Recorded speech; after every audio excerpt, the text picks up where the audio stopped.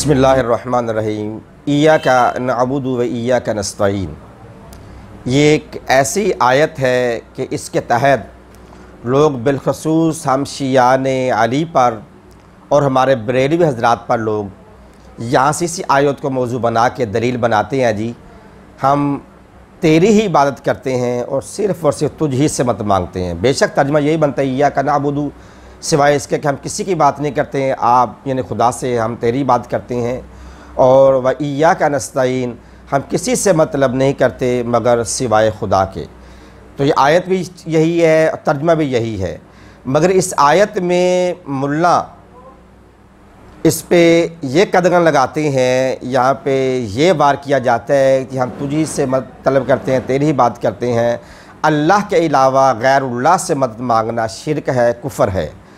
اگر اللہ سے غیر اللہ سے شرک مدد مانگنا شرک ہے، کفر ہے، تو اس سے قبل کہ میں آیات کی طرف، قرآن کی آیات کی طرف بڑھوں، پھر احادیث کی طرف چلتے ہیں۔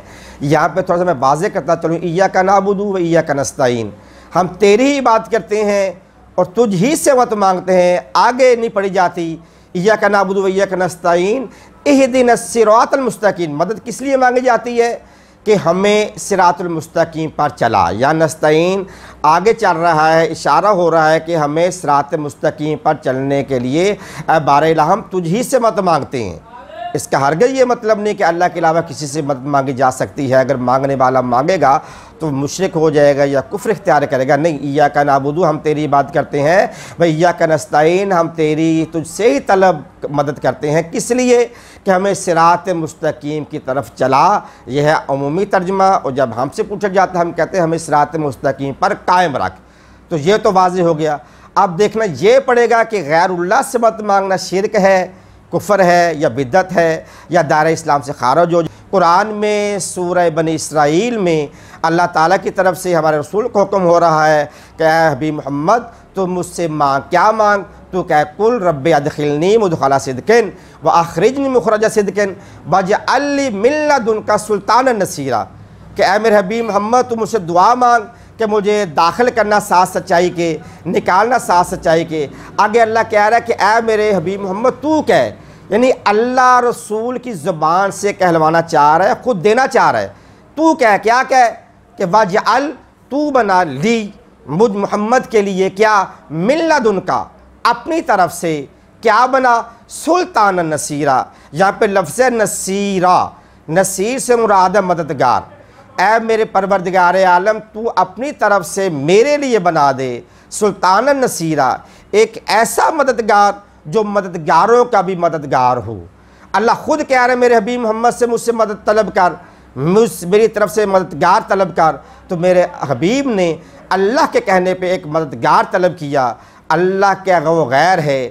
ہمارے کتب میں دیکھو گے، تفسیر در منصور میں دیکھو گے، اس سلطان النصیرہ سے مراد علی ابن ابی طالب کی ذات ہے۔ اور یہ وہ علی ابن ابی طالب کی ذات ہے کہ جس کو میدان احد میں جب میرے رسول محمد کو سب چھوڑ کے بھاگے آج کل عمران خان پر بھی لوگوں نے بڑی فتاووں کی بچھاڑ کی ہے، یہی موضوع تھا۔ لیکن کلمات کا انتخاب کچھ بہتر نہیں تھا۔ لیکن یہاں پہ جب سارے مدارج نبوہ جلد نمبر دو، صفحہ نمبر دو سو گیارہ میں یہ درج علامہ عبدالحق محدث دہلوی محدث لکھ رہے ہیں کہ کہ جب سارے چھوڑ کے بھاگے تو رسول نے اس وقت اپنی تلوار کو دیکھا، ڈھال کو دیکھا دان مبارک شہید ہو چکے تھے، داڑھی مبارکہ، خون سے تار، چہرہ سینہ تار ہو چکا تھا۔ تو اللہ نے جبری سے کہا، جا جا کے میرے حبیب محمد سے کہہ دے۔ کیا کہہ دے؟ کہ ناد علی مظہر العجائب، بلاؤ اس علی کو جو عجائبات کا مظہر ہے۔ تجدہ اور تو اے حبیب محمد، پائے گا علی کو اونن لکا تیری ہی مدد کرتے ہوئے فن نوائے بھی چاروں طرف سے۔ اب اللہ نے جبریل سے کہا، جبریل نے آ کے رسول محمد سے کہا کہ اس وقت مشکل میں علی کو بلاؤ۔ اب علی کو رسول نے بلایا کس کے حکم پر؟ اللہ کے حکم پر۔ کون حکم لے کر آیا؟ جبریل لے کے آیا۔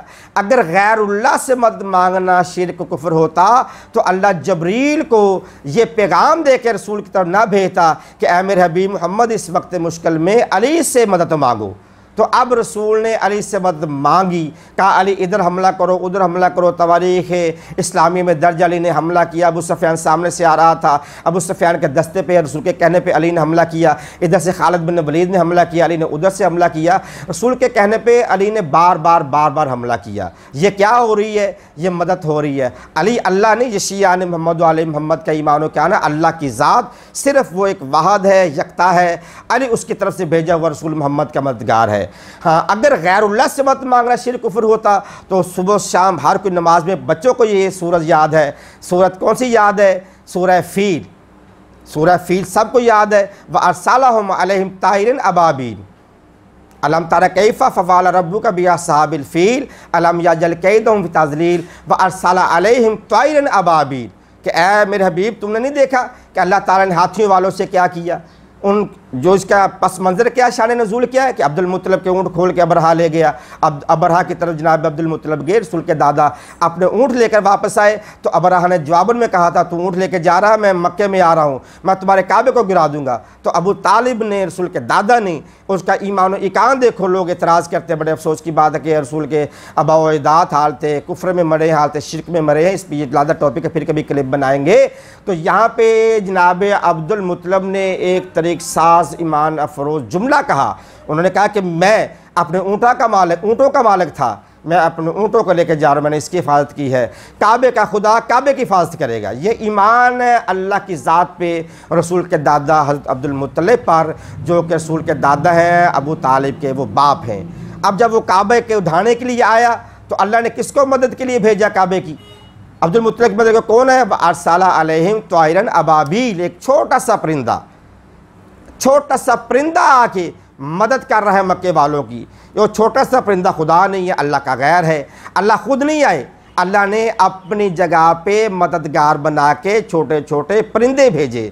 پرندوں نے آ کے ابرا کے لشکر پر حملہ کیا اور اس کو مار بگایا اور ایسا بنا دیا جیسے کھایا ہوا بھوس ہو۔